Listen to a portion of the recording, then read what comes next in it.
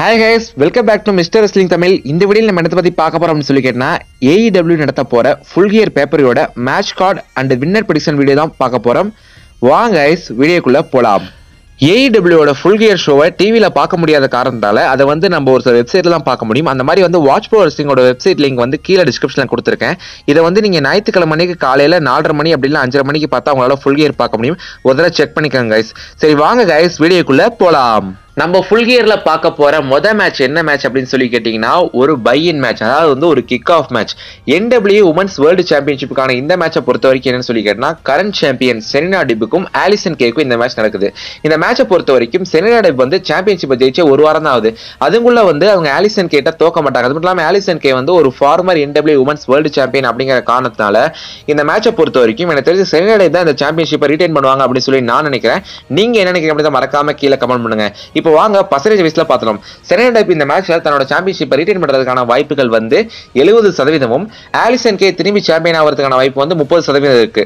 உங்களோட ப்ரெடிஷன்ஸ் என்னங்கிறத மறக்காம கீழே கமெண்ட் பாக்ஸ்ல கமெண்ட் பண்ணுங்க. இப்போ வாங்க நம்ம மெயின்ஸோட மேட்சஸ்லாம் பார்க்க போறோம். மெயின்ஸோட மேட்ச்ல நம்ம முதல்ல பார்க்க போற மேட்ச் என்ன அப்படின்னு சொல்லி கேட்டீங்கன்னா மேட் ஹார்டி விசஸ் சாமி ஹவராக்கு நடக்க போகிற எலை deletion match Matt Hardy and Sammy ஹவருக்கான ஃபியூடை வந்து ரொம்ப நல்லா காட்டிட்டே இருக்காங்க. அது மட்டும் இல்லாமல் தொடர்ந்து இந்த மேட்சஸ் வந்து நடந்துகிட்டே இருக்கு. லாஸ்ட்டில் நடந்த ஆல் அவுட் பேப்பரை பொறுத்த வரைக்கும் சொல்லிங்கன்னா ப்ரோக்கன் ரோல்ஸ் மேட்ச் வச்சாங்க. அந்த ப்ரோக்கன் ரோல்ஸ் மேட்ச்சில் வந்து மேட் ஹாடி ஜெயிச்சிட்டாரு.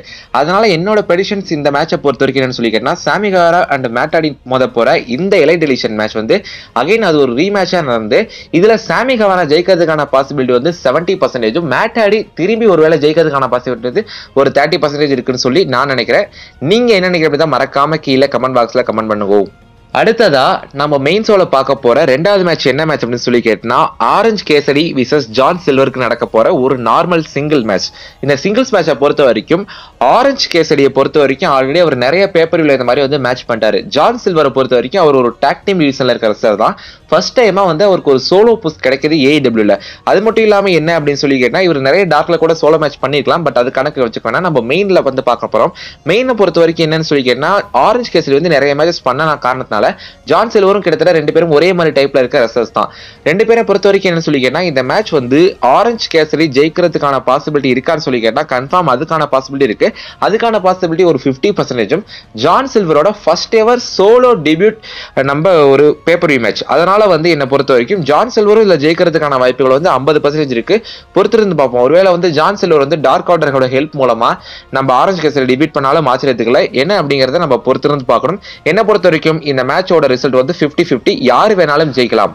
நம்ம மெயின் ஷோல பார்க்க போற மூணாவது மேட்ச் என்ன மேட்ச் அப்படின்னு சொல்லி கேட்டீங்கன்னா current AEW women's world champion நம்ம இக்காரி ஷீடா வந்து அவங்களோட சாம்பியன்ஷிப்பை நைலா ரோஸ் கிட்ட வந்து டிஃபெண்ட் பண்றாங்க.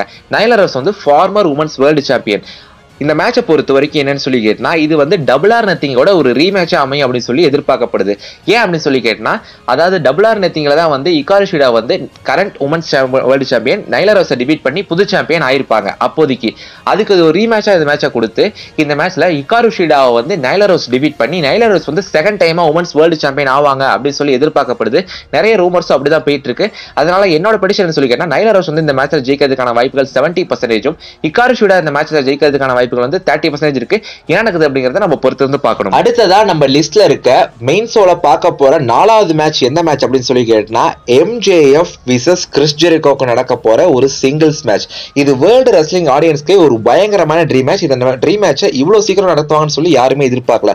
இந்த மேட்ச்ல வச்சிருக்க ரூல்ஸ் வந்து ஒரு பயங்கரமான ரூல்ஸ் இந்த மேட்சை பொறுத்த வரைக்கும் என்னன்னு சொல்லி கேட்டா கிறிஸ் ஜெரிகோவை எம்ஜேஎஃப் மட்டும் டிஃபீட் பண்ணிட்டாருன்னா கன்ஃபார்மா அவர் வந்து இன்னர் சர்க்கிள்ல வந்து ஒரு நபரா ஆட் ஆயிடலாம் அப்படிங்கிறதா வந்து இந்த மேட்சோட ஸ்டிபுலேஷன் அது மட்டும் இல்லாமல் என்னன்னு சொல்லி கேட்டா இன் கேஸ் இந்த மேட்ச்சில் வந்து கிறிஸ்டரிக்கோ எம்ஜேஎஃப் டிஃபீட் பண்ணார்னா இன்னர் சர்க்கிளை நம்ம எம்ஜேஎஃப் வந்து சேர முடியாது.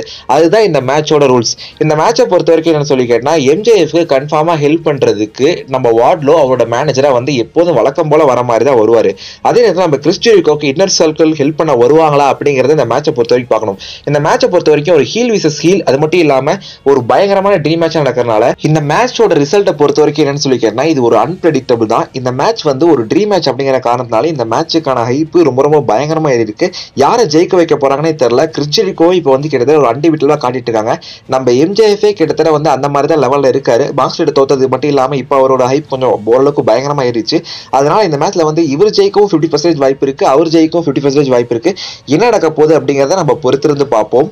நம்ம லிஸ்ட்ல இருக்க அஞ்சாவது மேட்ச் மெயின் ஷோல வர அஞ்சாவது மேட்ச் எந்த மேட்ச் அப்படின்னு சொல்லி கேட்டீங்கன்னா கோடி ரூட்ஸ் வீசஸ் நம்ம டெர்பி அலனுக்கு நடக்க போற டிஎன்டி சாம்பியன்ஷிப் மேட்ச் தான். இந்த மேட்சை பொறுத்த வரைக்கும் என்ன அப்படின்னு சொல்லி கேட்டா கோடி ரூட்ஸ் தன்னோட டிஎன்டி சாம்பியன்ஷிப்பை செகண்ட் டைம் ஜெயிச்சு இதோட வந்து ஒன் மந்த் முடிஞ்சிருச்சு. அது மட்டும் இல்லாம என்ன சொல்லிங்கன்னா டெர்பி அலன் கோடி ரூட்ஸ் வந்து எனக்கு தெரிஞ்சு இது வந்து மூணாவது தடவையோ நாலாவது தடவை நடக்குது. இது முறை வந்து ரெண்டு தடவையோ இல்லைன்னா ஒரு தடவை கிட்டதுன்னு நினைக்கிறேன். கிளியரா வந்து நம்ம கோடி வந்து ஆல்ரெடி டெர்பி அலனை வந்து டிஃபீட் பண்ணிட்டாரு.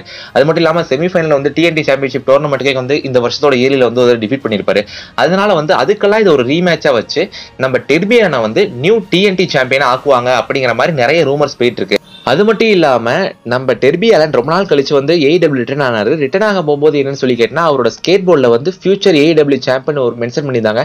ஒருவேளை அவங்க மென்ஷன் பண்ணது கன்ஃபார்ம் ஒருவேளை டிஎன்டி சாம்புக்காக கூட இருக்கலாம்னு சொல்லி நிறைய ரூமர்ஸும் போயிட்டு இருக்கு. நிறைய பேர் அதான் பிலீவ் பண்ணுறாங்க பொறுத்திருந்து பார்ப்போம் என்ன நடக்குது அப்படின்னு சொல்லிட்டு. அடுத்ததா நம்ம லிஸ்ட்ல இருக்க ஆறாவது மெயின் ஷோ மேட்ச் ஒரு வேர்ல்டு ரெஸ்லிங் ஃபேன்ஸுக்கான ஒரு பயங்கரமான dream match FTR versus Young Bucks அதாவது current AEW world tag team champions FTR Cash filter and Dax Harwood என்ன பண்றாங்க அப்படின்னு சொல்லி கேட்டால் அவங்களோட ஏஇடபிள்யூ வேர்ல்டு டாக் டீம் சாம்பியன்ஷிப்பை யங் பக்ஸுக்கு எதிராக மேட் ஜாக்சன் அண்ட் நிக் ஜாக்சனுக்கு எதிராக வந்து டிஃபெண்ட் பண்ணுறாங்க இந்த மேட்சை பொறுத்த வரைக்கும் என்ன சொல்லிக்கேன்னா இது ஒரு பயங்கரமான ட்ரீம் மேட்ச் சொல்லி நான் ஸ்டார்டிங்ல சொல்லிட்டேன். அந்த மாதிரி ஒரு பயங்கரமான ட்ரீம் மேட்ச் தான்.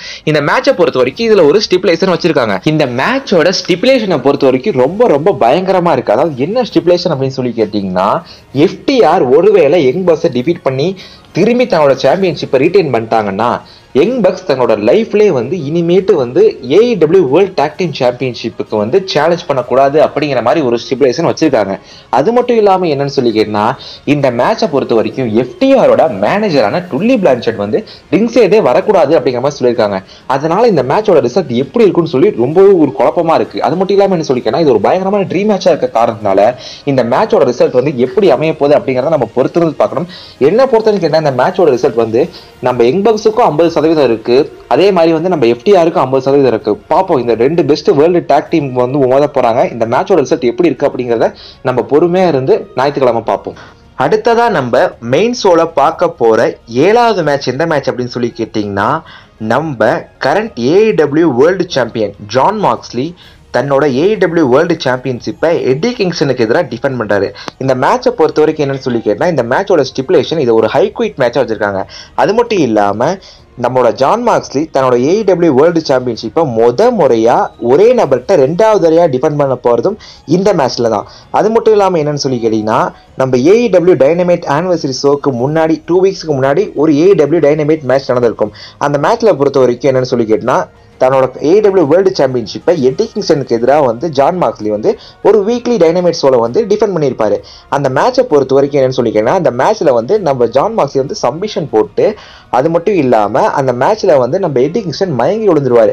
அப்படிங்கிற மாதிரி காட்டிட்டாங்க. அது மட்டும் இல்லாமல் ரெஃப்ரி என்ன பண்ணிடுவோம்னா அந்த மேட்ச்சில் வந்து நம்ம ஜான் மார்க்ஸ் ஜெயிச்சிட்டாரு அப்படிங்கிற மாதிரி வந்து அனௌன்ஸ் பண்ணிடுவாங்க. அதுக்கு அடுத்த வாரம் நடந்த டைனமேட் ஷோவில் வந்து நம்ம எடி வந்து நம்ம ஏடபிள்யூட்ட கேட்பாரு இந்த மாதிரி வந்து நான் அந்த மேட்ச்சில் வந்து சப்மிஷனே கொடுக்கல. நானாக சொல்லியிருந்தேனா நான் வந்து மயங்கி தானே கிட்டத்தட்ட உழுந்த மாதிரி காட்டினாங்க. அதில் வந்து நான் வந்து தோத்ததாக வந்து அர்த்தம் இல்லைல்ல அதுக்கு எனக்கு ஒரு ரீமேட்ச் வேணும் அப்படிங்கிற மாதிரி ஒரு விஷயத்த கேட்டார். அதுக்காக ஏடபிள்யூ ஆனிவர்சரி ஷோவில் என்னன்னு சொல்லி கேட்டால் லேண்ட் ஆசர் எடுத்து நம்ம ஜான் மார்க்ஸ்லி வந்து மோதிருப்பார். அதுலேயே திரும்பி வந்து தன்னோட சாம்பியன்ஷிப்பை வந்து ரிட்டைன் பண்ணியிருப்பாரு அதுக்கப்புறம் வந்து நம்ம ஃபுல் கியர்ல வந்து இந்த மேட்சை கொடுக்குறாங்க. அது மட்டும் இல்லாம இந்த மேட்சை பொறுத்த வரைக்கும் என்னன்னு சொல்லி கேட்டீங்கன்னா நம்ம ஃபுல் கியர்ல நடக்கிறதுக்கு ஒரு வாரம் முன்னாடி நடக்கிற டைனமேட் ஷோ அதாவது என்னன்னு சொல்லி கேட்டால் இந்த வாரம் நடந்த டைனமேட் ஷோவில் என்ன பண்ணியிருந்தாங்க அப்படின்னு சொல்லி கேட்டிங்கன்னா நம்ம ஹெட்டி கிங்ஸ்டன் எமோஷனலாக பேசுகிற மாதிரி ஒரு சில விஷயங்கள்லாம் காட்டியிருக்காங்க. அது மட்டும் இல்லாமல் என்னன்னு சொல்லி கேட்டால் ஹெட்டி கிங்ஸ்டன் வந்து நல்ல மைக்ஸோட இருக்க ஒரு ஹார்ட் கோரஸ்லர் நம்ம ஜான் மார்க்ஸ்லையும் நல்ல மைக்ஸோட இருக்க ஒரு ஹார்ட் கோரஸ்லர் அதனால இது hard core wrestler versus hard core wrestler நடக்கிறனால இது ஒரு பயங்கரமான ட்ரீம் மேட்சாக இருக்குது அது மட்டும் இல்லாமல் இது ஒரு ஐக்விட் மேட்சாக இருக்கனால இந்த மேட்சோட ரிசல்ட் எப்படி வரும்னு சொல்ல முடியாது. ஏன் அப்படின்னு சொல்லி கேட்டால் எட்டி கிங்ஸ்டன் வந்து இரண்டாவது டைமாக வேர்ல்டு சாம்பியன்ஷிப்புக்கு அகைன்ஸ்டா நம்ம ஜான் வாக்ஸ்லிக்கு அகைன்ஸ்டாவே மோதுறாரு அதனால இந்த மேட்சை பொறுத்த வரைக்கும் நம்ம ரிசல்ட் வந்து ஒரு அன்பிரிடிக்டபிளா தான் இருக்கும் அப்படிங்கிற மாதிரி நிறைய ரஸ்லிங் வட்டாரங்கள் வந்து பேசப்பட்டு வருது.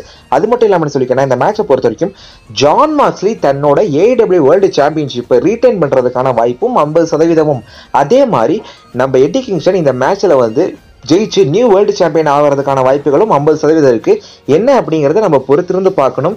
எப்படி நம்ம ஜான் மார்க்ஸ்லி அகைன் ஒரு முறை நம்ம எட்டி கிங்ஸ்டனை டிஃபீட் பண்ணி சாம்பியன் ஆகுறாரா? அப்படி இல்லைன்னா நம்ம எடி கிங்ஸ்டன் புது சாம்பியன் ஆகுறாரா அப்படிங்கிறத நம்ம பொறுத்திருந்து பார்ப்போம். அடுத்ததா நம்ம மெயின் ஷோவில் பார்க்க போகிற எட்டாவது மேட்ச் அது மட்டும் இல்லாமல் லாஸ்ட் அண்ட் ஃபைனலாக இருக்க மேட்ச் அது மட்டும் இல்லாமல் வேர்ல்டு ரெஸ்லிங் ஃபேனுக்கு ஒரு பயங்கரமான ட்ரீம் மேட்ச் அது மட்டும் இல்லாமல் இந்த மேட்ச் தான் மெயின் ஈவெண்ட்டாக நடக்கும்னு சொல்லி அழைக்கப்படுற மாதிரி ஒரு மேட்ச் என்ன மேட்ச்னு சொல்லி கேட்டால் ஏஇடபிள்யூ வேர்ல்டு சாம்பியன்ஷிப்புக்கான நம்பர் ஒன் கண்டென்டருக்கான டோர்னமெண்ட்டுக்கான ஃபைனல் இந்த மேட்சை பொறுத்த வரைக்கும் இந்த ரெண்டு பார்ட்டிசிபென்ட்ஸ் கலந்துக்கிறாங்க. யாருன்னு சொல்லி கேட்டீங்கன்னா ஒருத்தர் வந்து கென்னி ஒமேகா இன்னொருத்தர் வந்து ஹேங்மேன் ஆடம் பேஜ் இந்த மேட்சை பொறுத்த வரைக்கும் சொல்லி கேட்டா ஹேங்மேன் ஆடம் பேஜ் வந்து பொறுத்த வரைக்கும் ஆல்ரெடி வந்து ஃபர்ஸ்ட் எவர் வேர்ல்டு சாம்பியன்ஷிப்கான டோர்னமெண்ட்டில் ஃபைனல்ஸில் கலந்தவர் அதில் வந்து கிறிஸ்டரி கோட்டை அவர் வந்து தோத்துருப்பார் அப்படிங்கிறது நம்மளுக்கு தெரியும்.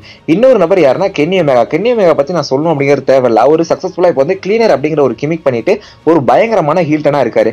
அது மட்டும் இல்லாமல் இவங்க ரெண்டு பேருமே இதுக்கு முன்னாடி வந்து டாக் டீம் இருந்தவங்க. இவங்க ரெண்டு பேருக்கு இந்த மேட்ச் வைக்கிறனால இந்த மேட்ச்சில் எவன் ஜெயிக்கிறானோ அவன் தானே அடுத்த வேர்ல்டு சாம்பியன் அப்படிங்கிற நிலைமைக்கு வந்து இந்த மேட்ச் வந்து பயங்கரமா இருக்கு. இந்த மேட்சை பொறுத்த வரைக்கும் சொல்லியிருக்கேன்னா கென்னி மெகா ஹேங்மேன் ஆடமேஜை கிளியரா டிஃபீட் பண்ணி நம்ம அடுத்த ஏஇடபிள்யூ வேர்ல்டு சாம்பியன்ஷிப்புக்கு அப்போ இருக்க வேர்ல்டு சாம்பியன் ஜான் மார்க்ஸ்லியோ இல்லை ஒரு சில நேரத்தில் வந்து எட்டி கிங்ஸ்னோ யார் இருந்தாங்களோ அவங்கள வந்து சேலஞ்ச் பண்ணி புது ஏஇடபிள்யூ வேர்ல்டு சாம்பியனாக வந்து நம்ம கென்னியமேகா ஆகலாங்கிற வாய்ப்பு வந்து எழுபதுலேருந்து எண்பது சதவீதமோ அப்படி இல்லைன்னா ஹேங்மேன் ஆடம்பேஜ் இந்த மேட்ச்ல ஜெயிச்சு அப்ப இருக்க ஏஇடபிள்யூ வேர்ல்டு சாம்பியன் யாரோ மேக்ஸ்லயோ எடி அவங்கள வந்து சேலஞ்ச் பண்ணி புது ஏஇடபிள்யூ வேர்ல்டு சாம்பியனா நம்ம ஹேங்மேன் ஆடம்பேஜ் ஆகிறதுக்கான வாய்ப்புகள் இருபதுல இருந்து முப்பது சதவீதம் இருக்கு. அது மட்டும் இல்லாம என்னன்னு சொல்லி கேட்டீங்கன்னா கென்னி மேகாவை பொறுத்த வரைக்குமே அவரும் மேலதான் அதிக ஃபேன்ஸோட நம்பிக்கை இருக்கு. ஏன் அப்படின்னு சொல்லி கேட்டீங்கன்னா லாஸ்ட் இயர் வந்த ஃபுல் இயர் பேப்பர் வேல தான் கென்னி மேகாவும் ஜான் மார்க்ஸ்லயும் மேட்ச் பண்ணியிருப்பாங்க. அந்த மேட்ச்ல வந்து ஜான் மார்க்ஸ்லி வந்து கென்னி மேகாவை டிஃபீட் பண்ணியிருப்பாரு. அந்த மேட்ச் ஒரு ஃபைவ் ஸ்டார் மேட்சாக இருந்திருக்கும். அதே மாதிரி இந்த மேட்சும் ஃபைவ் ஸ்டாரா இருக்குமாங்கிறத நம்ம பொறுத்திருந்து பார்க்கணும். அது மட்டும் இல்லாம என்னன்னு சொல்லி கேட்டால் அந்த நேரத்துல நம்ம கென்னிய மேகா ஃபேஷன் பண்ணிட்டு இருந்தாரு. இப்ப இருக்க கென்னிய மேகா வந்து ஹீல் டர்ன் பண்ணிட்டு இருக்காரு. அது மட்டும் இல்லாம என்னன்னு சொல்லி கேட்டால் தான் ஆரம்பித்த ஃபியூடை அதாவது எப்படி சொல்லி கேட்டால் கென்னி மேகா வந்து ஜான் மாஸ்லர் தோத்துட்டார்ல. அதே மாதிரி அதுக்கு ஒரு ரிவெஞ்ச் கொடுக்குற மேட்சாக வந்து இந்த டோர்னமெண்ட்டோட ஃபைனலில் வந்து நம்ம கென்னி மேகா ஜெயிச்சு இதுக்கப்புறம் நம்ம ஃப்யூச்சரில் நடக்க போகிற ஏதாவது ஒரு ஸ்பெஷல் ஷோலையோ அப்படி இல்லைன்னா என்ன சொல்லி கேட்டால் நம்ம ரிவாலுவேஷன் டூ தௌசண்ட் டுவெண்ட்டி ஒன்ல நடக்க போகிற ஈவெண்ட்லேயோ எப்படியும் நம்ம கென்னி மேகா வந்து ஜான் மார்க்ஸ்லேயே டிஃபீட் பண்ணி நியூ வேர்ல்டு சாம்பியனாக ஆவார் அப்படிங்கிற மாதிரி நிறைய ஃபேன்ஸ் வந்து பிலீவ் பண்ணுறாங்க இன்க்ளூடிங் மீ நான் நானும் அதான் ரொம்ப ரொம்ப பிலீவ் பண்றேன். கென்னி மேகா மட்டும் வேர்ல்டு சாம்பியன் ஆயிட்டா வேற லெவலில் இருக்கும்னு நினைக்கிறேன். அந்த நாள் வந்து ரொம்ப தூரத்தில் இல்லை ரொம்ப ரொம்ப பக்கத்தில் தான் இருக்க போதுன்னு நினைக்கிறேன். பொறுத்திருந்து பார்ப்போம் என்ன அப்படின்னு சொல்லிட்டு. அதுக்கான ஒரு கீ கொடுக்குற மேட்சாக நிறைய ஃபேன்ஸோட எதிர்பார்ப்பை இன்னும் அதிகரிக்கிற மேட்சாக வந்து நம்ம கென்னி மேகா விசஸ் ஹேங்மேன் ஆடம் பேஜ் நடக்க போகிற இந்த ஃபைனல் மேட்ச் இருக்குன்னு சொல்லி நான் நினைக்கிறேன். நீங்கள் என்ன நினைக்கிறீங்க மறக்காமல் கீழே கமெண்ட் பண்ணுங்க. கென்னி மேகா அடுத்த ஏடபிள்யூ வேர்ல்டு சாம்பியன் ஆகிறத பற்றி உங்களோட தாட்ஸ் என்ன அப்படிங்கிறத மறக்காம கீழே கமெண்ட் பண்ணுங்கள் இந்த மேட்ச் கார்டு ப்ரெடிஷன்ஸ்ல உங்களோட own particular match card prediction ஏதாவது இருந்தால் மறக்காம கீழே கமெண்ட் பாக்ஸ்ல கமெண்ட் பண்ணுங்க. இந்த வீடியோ பிடிச்சிருந்தா லைக் பண்ணுங்க கமெண்ட் பண்ணுங்க ஷேர் பண்ணுங்க. மறக்காம நம்ம சேனலை சப்ஸ்கிரைப் பண்ணுங்க. இது வரைக்கும் இந்த வீடியோ ஸ்கிப் பண்ணாமல் கேட்டான நன்றி. ஓகே ஸ்டேட் நம்பர் மீட் பண்ணுவோம்.